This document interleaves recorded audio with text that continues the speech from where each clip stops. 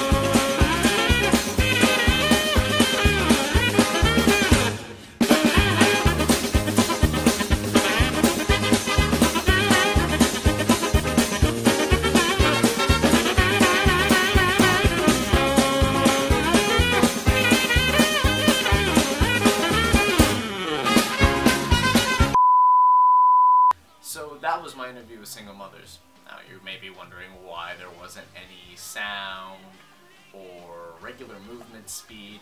Well, that's because uh, when we got there, it was the hallowed night of many technical difficulties. We found that both our camera batteries were dead and our memory card was full. So as a result, we had to use Jenny's iPhone to film the interview. And my friend Jordan, who happened to be tagging along, he ended up being the person filming. And I love the guy to death, but he's an idiot. At least when it comes to technology. So he turned, by accident, I would hope, the entire interview into a time lapse. Yeah. But, okay, well, to put it this way, it was a really good interview.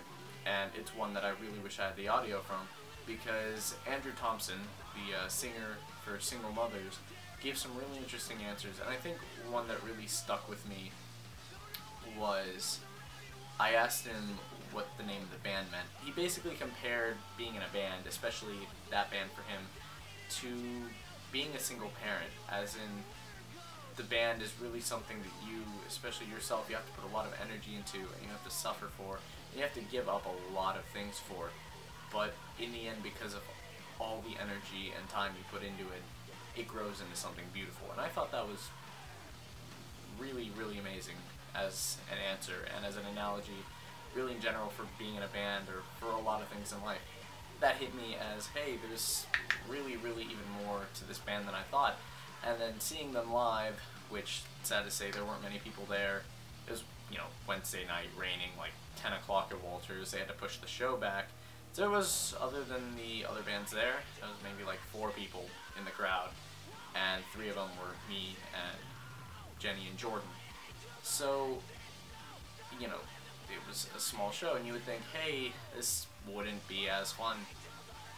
But it was still entertaining because when they got up on that stage, they played like the place was packed. It was great to see, you know, he does all these theatrical hand motions, kind of like a, say, early Gerard Way from My Chem.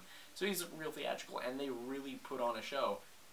And I don't know, they're a band worth checking out, so you should check them out. More news, music reviews, interviews. Uh, stay tuned to Cult of Deer TV.